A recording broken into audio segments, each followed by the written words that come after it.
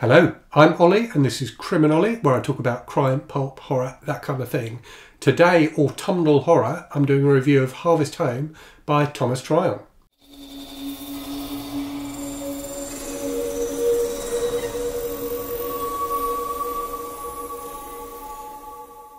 So I read this book for Kelly Hooked on Books' From Hell Book Club, uh, and it was an interesting read. It's one of those books uh, that I've been aware of for ages and have meant to read for ages. And indeed, I had a paperback copy of it um, back in my late teens, I think, um, but never actually got to it for whatever reason.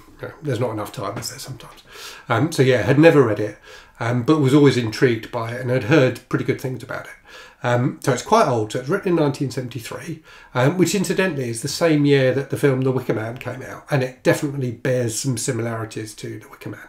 Um, so, like that film, um, it's about um, people from kind of like the, the city, if you like, who go to a rural setting where there is, you know, kind of weird folklore stuff going on. Um, so, in this book, the main character and indeed the narrator um, is a guy who's an artist who moves from the city with his wife and young son um, to this uh, small town in New England, um, where which is you know kind of part of a rural community.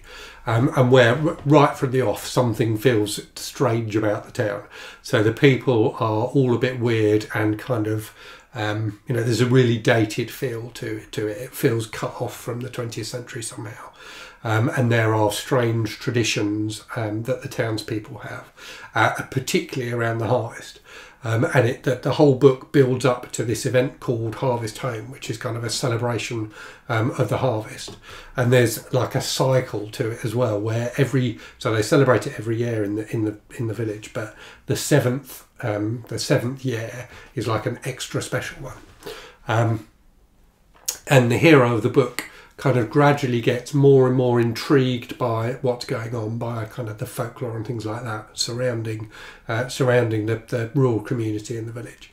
Um, but also by the fact that there's this grave in the churchyard uh, which is very deliberately set away from the rest of the graves. So the grave of a young woman um, and he becomes fascinated by this young woman and tries to find out what happened to her um, so you've got kind of the, the the elements of kind of mystery and horror there um, right from the start. So you've got this this sense of eeriness about the town, this sense that there's something not quite right there, um, and then this mystery about what's happened to this this young woman as well.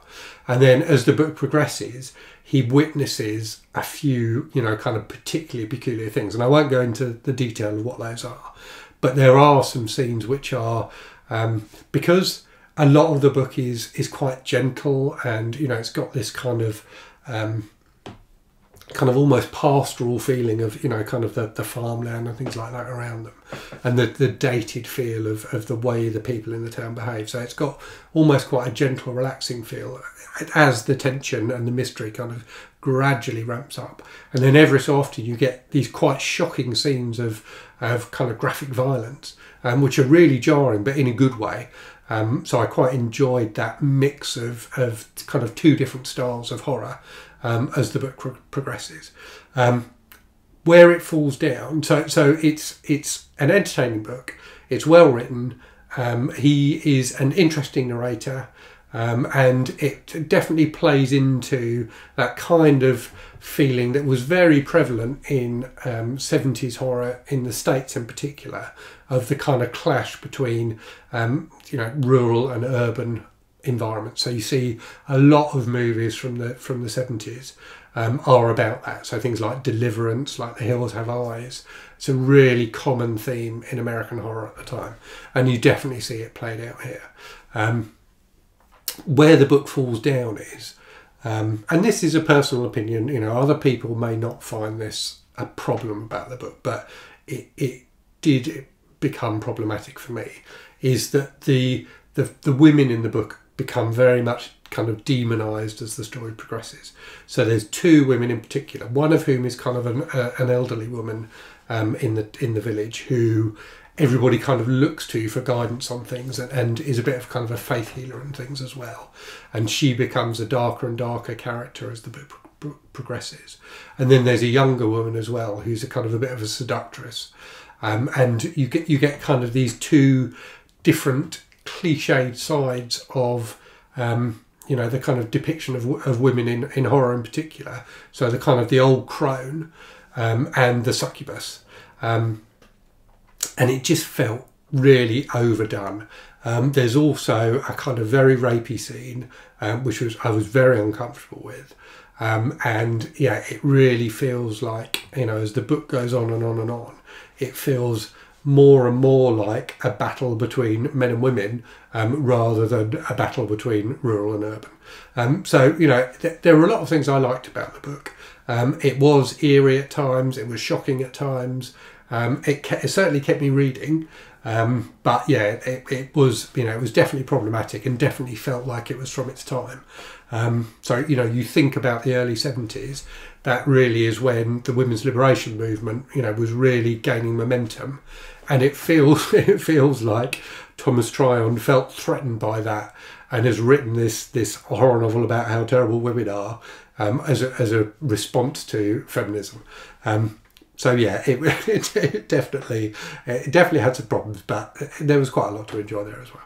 Okay, time for a random book from the shelves. Um, so this is something very different from Harvest Home, but it's something that since I uh, did my shelf tour and since these shelves have been in the background, a couple of people have commented on in the comments. Um, so I thought I would talk talk about it. I've got a couple of these books. Uh, so this is The Saint by Dan Abnett, which is a uh, part of a series of books written based in the Warhammer 40k universe. So if you don't know, Warhammer is a, like a tabletop um, kind of strategy game, um, and there are loads, like dozens and dozens of books set in this universe. So the, the Warhammer 40k universe is set kind of in a, a far future um, where these kind of space marines go and battle aliens on other planets and stuff like that. So this is part of a series called the Gaunt Ghost series.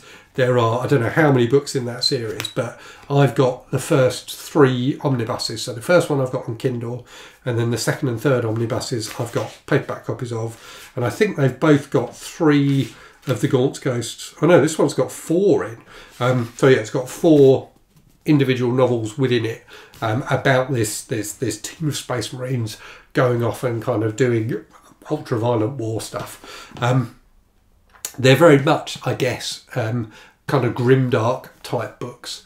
Um, in their depiction of uh, kind of heroism and things like that. So very bloody, very violent, uh, but quite entertaining. As always, thanks very much for watching. Do let me know um, in the comments if you've read Harvest Home and what you thought of it.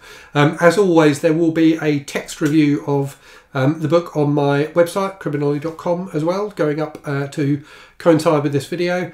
Um, so yeah, for all my kind of major reviews of crime and horror stuff from now on, there will be a text review um, on the website as well. So look out for that. Uh, there'll be more details um, of the book there, so things like you know page counts and ISBNs and things like that, um, as well as trigger warnings for anybody who wants those.